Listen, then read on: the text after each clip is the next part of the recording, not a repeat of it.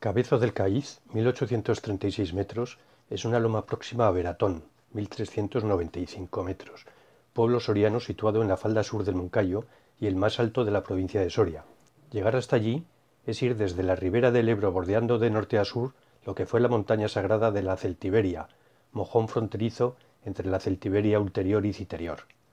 Ya lo hicimos la víspera de San Juan para subir al pico de San Miguel, o vulgarmente Moncayo, desde el pueblo cercano llamado La Cueva, en el día institucional del club. Gran día y hermoso día. Hoy también buen día, sol y con ligero cierzo de acuerdo con el veranillo de San Miguel. Aquí. Y así ya... Sí. Tómalo. Estamos en Veratón Y vamos al- a subir al cabezo del CAI.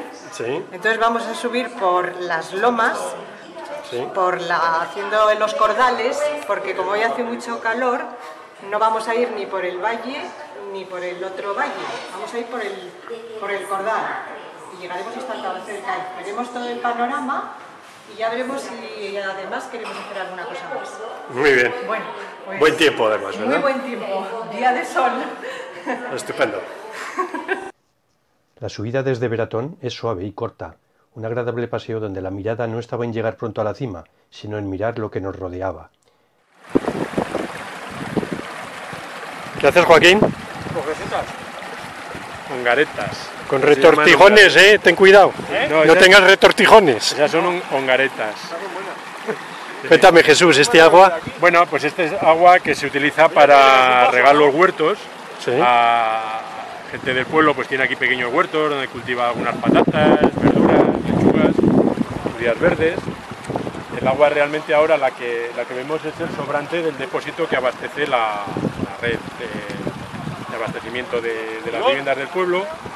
Y aquí antes eh, está, que ahora no se utiliza, pero antes teníamos aquí lo que se llama la balsa adobera, se utilizaba para hacer adobes, para construir las casas y como almacenamiento de agua para regar los huertos. ¿Cuántos quedan ahora en el pueblo? Pues en invierno muy poca gente, 8 o 10 habitantes, 12, 15 como máximo, ¿no? Fines de semana puede venir alguien más, así Ya. en segundas viviendas y sobre todo vienen pues bastantes veraneantes Ya. para pasar el verano. Muy bien.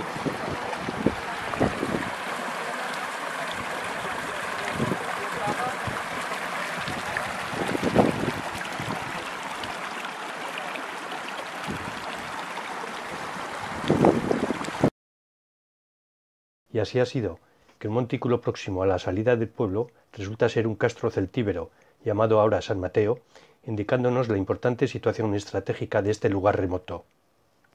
Sus casas circulares ya hablan por sí solas de su antigüedad, de su sabiduría en adaptarse al lugar y que María José nos va explicando.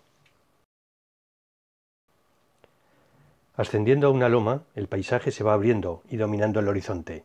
Vemos la destacable silueta de Peñas de Herrera y que Ivonne casi de memoria va señalando y recitando los montes y valles de alrededor que anduvimos juntos hace unos meses.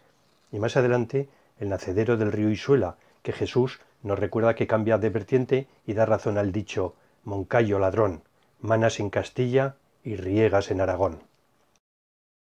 Un puesto de caza de aves ya abandonado hace años nos habla también que estamos en una zona de especial protección para las aves.